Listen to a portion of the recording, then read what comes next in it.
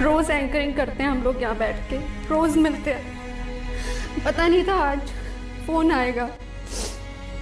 कि रोहित आईसीयू में है। सब जाते हैं आईसीयू में। हमारा दोस्त भी गया था। फिर खबर आई कि वो वेंटिलेटर पर है। मैं सुबह से बुलेटिन कर रही थी। डर लग रहा था, प्रेयर भी कर रही थी साथ साथ। पर नेवर थॉट कि ऐसा कुछ होगा।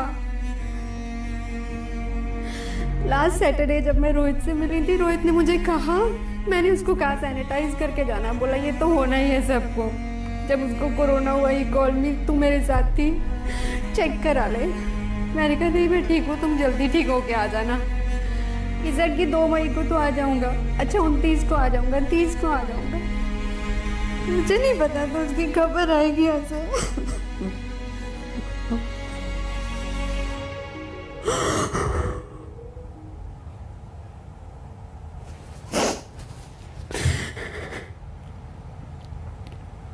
आप लोग दंगल देखते हैं।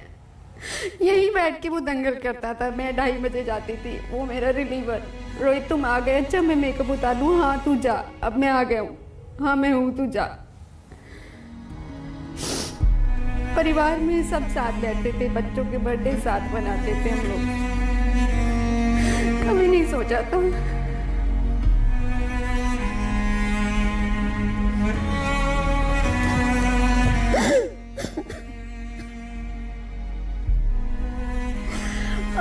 खबर आए आई स्टिल बिलीव हम इतने फ़ोन लेते हैं। मैं किसी को भी फ़ोन करूँ बोले, नहीं, वो ठीक है, वो आ जाएगा वापस।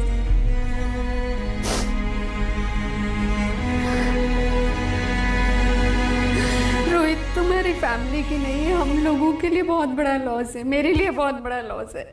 You was so good to me मेरे इतने प्यारे दोस्त तुम रोहित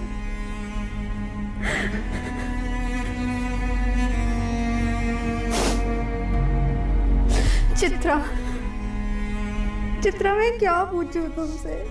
क्या पूछूँ चित्रा? अब तो कोई शब्द ही नहीं है पूछने के लिए।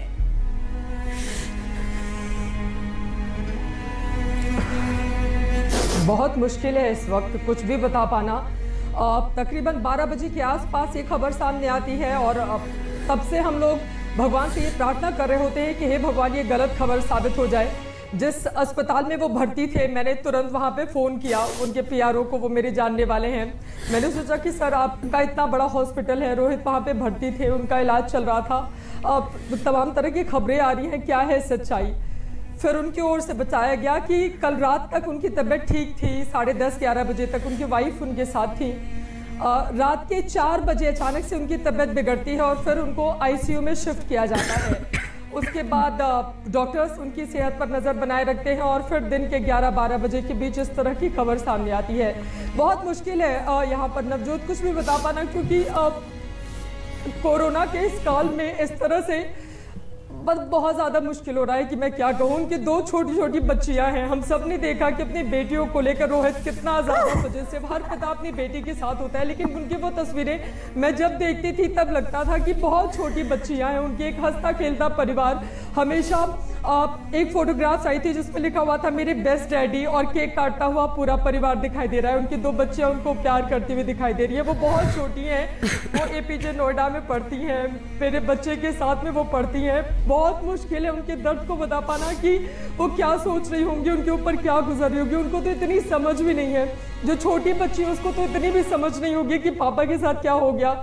और मैं ही अब अब जब से उनकी तबीयत बिगड़ी थी रोज शाम के पाँच बजे मैं दंगल करती थी लगातार। हम लोग सोशल मीडिया पर जब उन्होंने लिखा कि एक हफ़्ते हो गए हैं मुझे आइसोलेट हुए और मैं ठीक हो रहा हूँ अब धीरे धीरे हम सबने प्रार्थना की थी कि बहुत जल्द आप वापस आए और फिर से अपना कार्यक्रम शुरू करें, लेकिन ज़िंदगी का ये दंगल वो इस तरह से हार जाएँगे, इसकी किसी ने कल्पना भी नहीं की थी।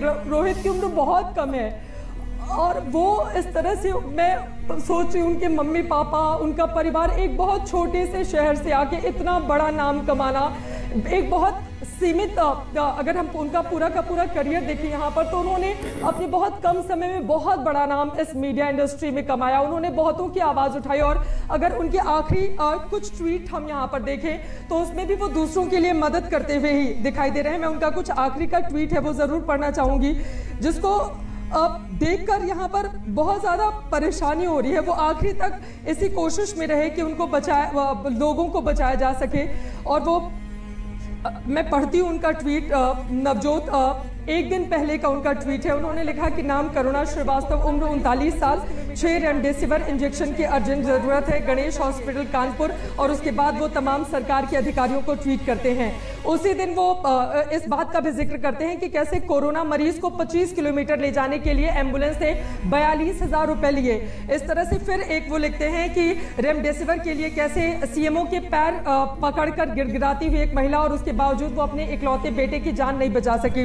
वो लगातार अपनी इन बातों के ज़रिए बताते रहे हैं पत्रकारिता का जो मूल मकसद रहा उसको वो साधते रहे। शाम पाँच बजे का शो मतलब रोहित सरदाना। लेकिन अभी जो कुछ भी हम सबके ऊपर गुजर रहा है यकीन कर पाना नवजोत बहुत मुश्किल है कि रोहित हमारे बीच नहीं रहे। लेकिन ये लाइन आप सबसे ज़्यादा मुश्किल बार बार ये लगता है कि नहीं ये झूठ है ये झूठ है हमेशा ये लग रहा है।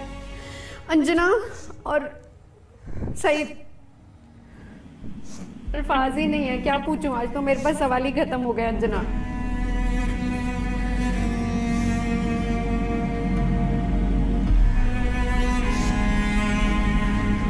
सईद कुछ बोलो प्लीज़ क्या क्या क्या बोलूँ नब्जो पूरे हिंदुस्तान से फ़ोन आ रहे और, सिर्फ़ एक सबसे ये निकल रहा है कि हम अपने रोहित को नहीं बचा पाए और और क्या क्या बोलूँ मैं? जब फ़ोन कर रहे किसका फ़ोन उठाऊं किसका फ़ोन नहीं उठाऊं। नवजोत रिलीज़ करती थी तो पूछ लेता था कि प्रमिला से बात हुई है क्योंकि प्रमिला और नवजोत बहुत पुराने हैं बहुत अच्छे दोस्त सईद आज तो प्रमिला से भी बात नहीं हो पाई सुबह कॉल किया वो बहुत रो रही थी सईद लास्ट सैटरडे हम तीनों साथ में थे तो मैं और रोहित हम तीनों साथ में मेकअप रूम में थे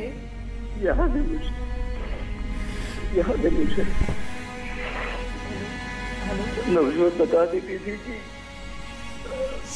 प्रमिला से बात हो गई है, रोहित से बात हो गई है, लेकिन आज हिंदुस्तान भर से फ़ोन करके सब कोई किसी किसी को विश्वास नहीं हो रहा, किसी किसी को भरोसा नहीं हो रहा है, कोई ये मानने को तैयार नहीं है दिल मानने को तैयार नहीं है, अभी भी काश ये खबर झूठ हो बस, काश ये खबर झूठ हो, हम यही यही कह अंजना। अंजना आप प्लीज़ कुछ बोलिए। नवजोत बहुत मुश्किल है फ़ोन में ऐसे पटते